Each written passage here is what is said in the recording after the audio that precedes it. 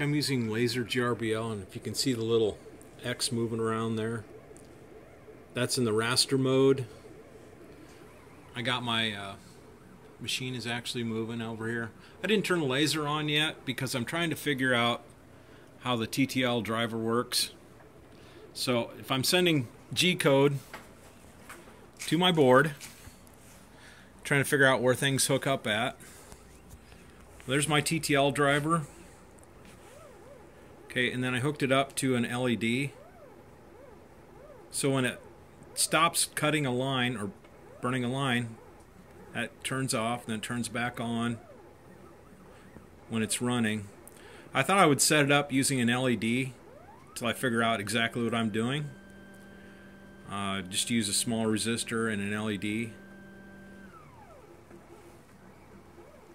And I think I've got it to where I can hook up the laser now.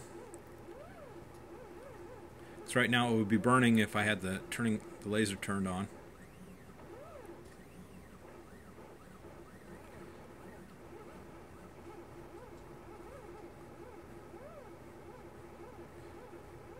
Gets to a stopping point. Turns it off. Moves the bed.